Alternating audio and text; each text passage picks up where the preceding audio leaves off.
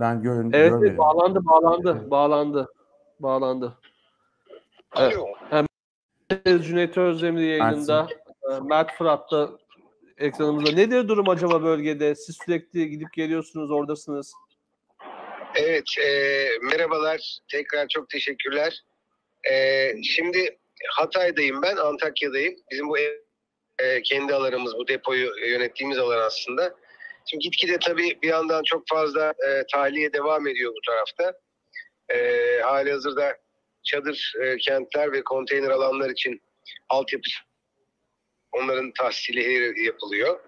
E, bir yandan da hala tam herkesin çadıra ve gıdaya erişemediği bir durum söz konusu. E, orada da aslında e, onu böyle bütün e, sivil toplum örgütü, AFAD, herkes e, dört bir koldan onu gidermeye çalışıyor. Ama hani e, buradaki gıdaya erişim e, hala bir problem. E, çadıra erişim de öyle. Tabii sayı çok fazla. E, burada çeşitli noktalarda e, mutfaklar kuruldu. Kızılay'ın bir mutfağı var. 10 binden 20 bine kadar çıktı onlar da sayı olarak. Ee, yine burada bizim işte 3-4 tane mutfağımız var ihtiyaç haritasının. e, Afet e, platformunun mutfakları var.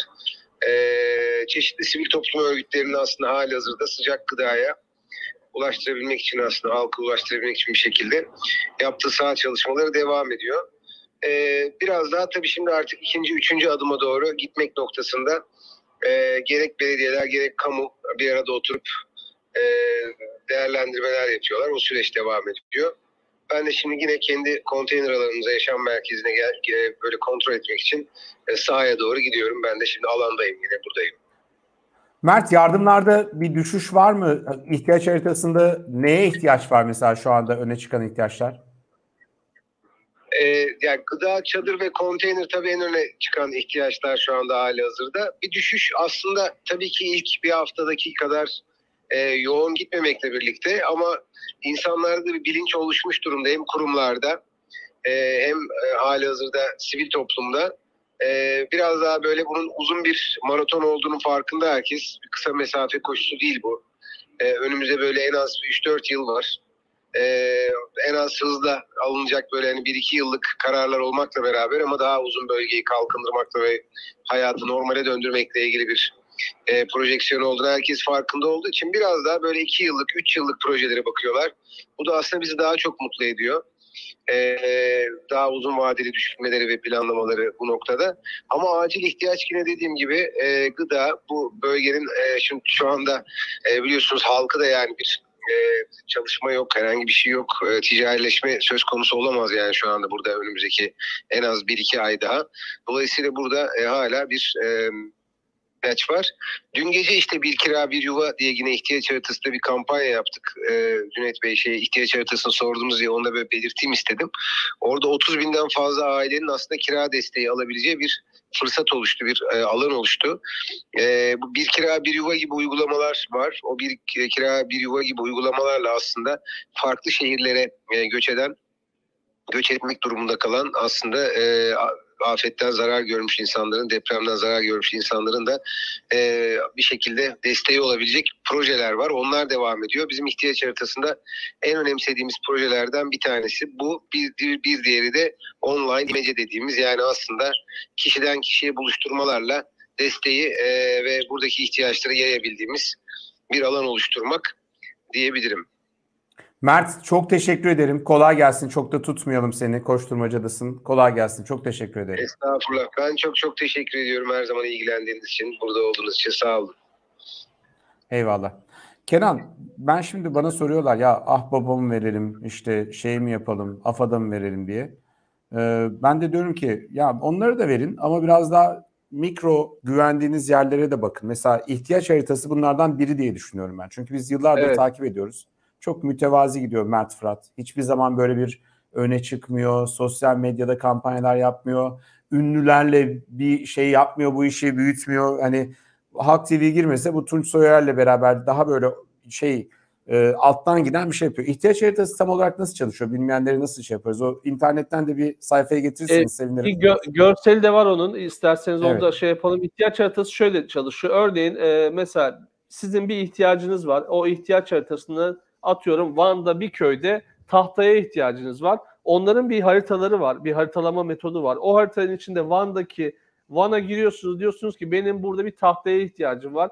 İşte çocukların e, işte bir ekrana ihtiyacı var. Ekranda video göstermek için diye eğitim üstünden gidiyorum. Ya da ne bir bilgisayara ihtiyacı var. işaretliyorsunuz. Sonra biz İstanbul'dan ya da Türkiye'nin neresinden, dünyanın farklı yerinden e, biz bakıyoruz haritaya. Arkadaşlarım hazırlıyorlar şimdi o haritayı gösterecekler. Evet. O haritaya giriyorsunuz ve diyorsunuz ki şey ne derler ona ben bu bilgisayarları göndereceğim diye ondan sonra ya yani aslında sadece orada iki aracıyı buluşturuyor ihtiyaç. Yani şey yapmıyorlar hiç öyle alışveriş yapmıyor aslında yani ihtiyacı olanla ihtiyacına destek olan insanı buluşturan bir Aynen. şey mekanizma kurmuş durumdalar. Zaten İhtiyaç bayağı da oldu sanırım kuralı değil mi? Ya bu şeyle depremle çıkmış bir hikaye değil bu. Birkaç defa haberini de yaptık biz. Fark yaratanların tabii, tabii. arasına da katılmıştı bizim. Ee, gayet tıkır tıkır işleyen bir şey. Ee, yani daha önceden kurdukları ve sistemi işlettikleri için de belki de şu anda en şeffaf yani verdiğin para belli, gittiği yer belli, alan belli, veren belli her şeyin e, buluştuğu bir e, mekanizma kurmuş durumdalar. Bunu da bilmeyenleri evet. duyuralım istiyorum. Evet, ihtiyaç haritası yani insan hani genelde aslında asıl hikaye, depremdeki asıl hikaye AFAD üstünden dönüyor. Tüm çünkü koordineyi AFAD yaptığı için bir AFAD üstünden devam ediyor bu süreç. Bu bir oraya yapabilirler. Ahbap süreci devam ediyor. Haluk Levent e, her gün açıklamalar yapıyor. Şu kadar şuraya bir şey gönderdik diye. Haluk Levent de ahbap koordinasyonuyla. Çünkü ihtiyacı e, bir şekilde onlar biliyor. Devlet kurumları, kamu kurumları biliyorlar. Onu eğer ahbap ihtiyaç haritası var, farklı dernekler var. E, evet. Anadolu Ajansı'nın bir listesi vardı şey diye.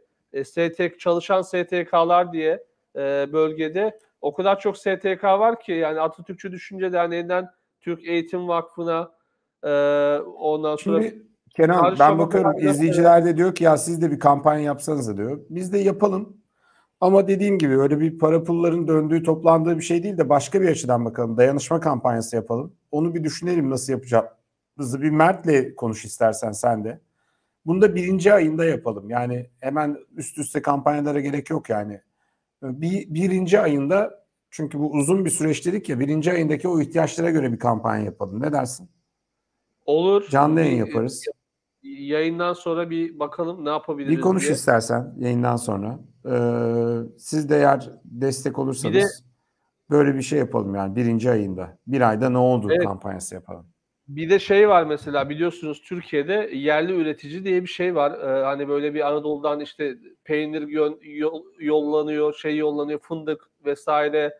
Bu, bu bölgelerden, deprem bölgelerinden de yerli üreticilerden de e, ürünler alabilirler e, imkanları olan insanlar. Evet. internet Tamam biz bunu konuşalım. Bir Mert'le de konuşalım. Siz de bize yazın. İsterseniz bu konuyla ilgili hani fikriniz varsa Kenan Eklipnot TV'ye mail, mail atabilirsiniz, mesaj atabilirsiniz. Ona göre diyelim ki ya biz de hani bizim de tuzumuz bulunsun. Hem de bir ay, birinci ayda bu kampanyalar da yavaşlamasın yani. Bunu sür, sürdürülebilir bir şey yapalım. Ee, ve devam edelim.